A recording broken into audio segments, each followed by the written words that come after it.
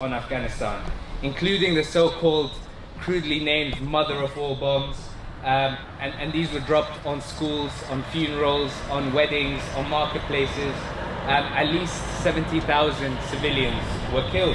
And this number is likely to be far higher because during Obama's presidency, uh, they started describing any male between 18 and 65 in a combat zone, uh, in a strike zone, sorry, as a combatant, um, thereby not counting them as, as civilians. So the toll has been really, really high, and this is the reality of what Western war does, uh, how little it achieves apart from killing scores of people, destroying huge swathes uh, of the country. And in the end, what they've done is made the Taliban stronger than they were in 2001, uh, and they've allowed groups like ISIS to take hold in the country. This Western imperialist project that has caused so much death and destruction is what the DSEI arms fair is an integral part of. In these last 20 years, companies like BAE Systems, Raytheon, Lockheed Martin and others have seen their profits soar. Every bomb dropped on an Afghan village was money in their pockets. These are the murderers who will be in the Excel Center selling their death machines. Uh, and places like Afghanistan, like the Gaza Strip, like Somalia, are used by these arms dealers for testing and promoting their weapons. Inside the arms fair, they proudly boast about the weapons that have been so-called battle tested. And these same arms companies are also supplying the technology uh, that is being used to fortify borders to stop refugees from getting to Europe. Um, so they profit from creating the refugees and then they profit from stopping them reaching safety.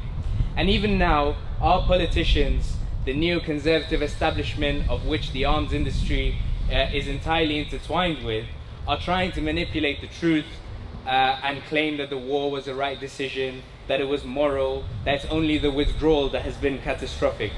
These people continue to believe, or at least want to make us believe, that the only way to help people is to bomb them. They want to pretend like their war had anything to do with protecting women or their rights, uh, you know, because the way to safeguard women is to bomb them. Uh, we have to say categorically no to this backwards, murderous thinking that has already cost so many lives and caused untold destruction and devastation in Afghanistan, in Libya, in Syria, in Iraq, in Palestine, in Somalia. Their bombs don't keep anyone safe, not there and not here. And if these people really cared about Afghan people, they wouldn't have deported 30,000 Afghan refugees in the last 10 years. The British government has spent millions on chartered flights to send Afghan children back to Afghanistan. Theresa May, when she was Home Secretary, this is where you loudly boo. There we go. um, she went to court to fight uh, uh, uh, the the blanket ban on, on sending Afghan refugees back, and she won. And she claimed that Afghanistan was a safe country to send Afghan, uh, uh, Afghan refugees to. Um, and they, after that, spent four million pounds on building a so-called reintegration center in Kabul to make it easier, particularly to send children back. If this government wants to help the people who are now scared for their lives with the Taliban back in power, and we have to insist that they do whether they want to or not, uh, what they need to do is create safe and legal routes for refugees. Their number of 5,000 is not enough. Their number of 20,000 over five years is not enough. They must open the borders and let them in now. And I just want to make a couple of other quick points about the war in Afghanistan and the arms industry. Because we've spent the last 10 years being told that we needed austerity because there was no money. At least 120,000 people were killed because directly because of the cuts made to public services and welfare. Our NHS was decimated and left wholly unprepared for the pandemic, which cost another 150,000 lives. But all the while, their magic money tree never stopped bearing fruit for war. The UK spent at least 40 billion pounds on Afghanistan alone. The US spent 2.2 trillion dollars. Uh, and the vast majority of this money was spent on military spending a, a huge bulk of which went directly into the coffers of the pricks behind there.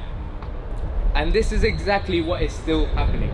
The Tories will be increasing national insurance, they will be, which will affect the poorest workers the hardest, they'll be ending the universal credit uplift, they aren't giving nurses a fair pay rise, they're ending the furlough scheme. But meanwhile, they've increased defense spending by 16.5 billion pounds. They've committed more money to the already 200 billion pound price tag of renewing the Trident nuclear missile system. And they're spending millions on sending the Queen Elizabeth aircraft carrier uh, with this flotilla to the South China Sea to ratchet up tensions with China. And all of this while our planet is literally on fire from climate breakdown, of which these weapons are a massive contributor to. Uh, the US military is the single biggest polluter in the world. And the skills of thousands of workers that could be used for green jobs uh, to produce renewable technology are instead being wasted on producing instruments of death. So all these things are connected and the war economy, the role of the arms dealers and Western imperialism is at the heart of it. And we need a concerted, united movement that brings together all the different strands of opposition against this bankrupt system. And let's not forget that it's Priti Patel who is stopping, yeah, who is stopping Afghan refugees from coming to this country and is at the same time also spearheading the police and crime bill, which will be going to second reading in Parliament next week, to limit our ability to protest.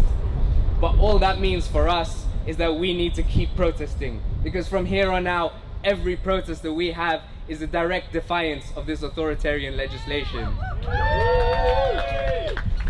So yeah, I'll end there and I just want to say big up to all of you for being out here. Solidarity to you all, solidarity to our brothers and sisters in Afghanistan. Let's keep protesting, let's keep building this movement. I look forward to seeing you all out here for the remainder of the week. I hope some of you will be out in, in Manchester next month outside the Tory Party conference. Um, and I encourage you to get involved with Stop the War and let's keep fighting for peace. Thank you.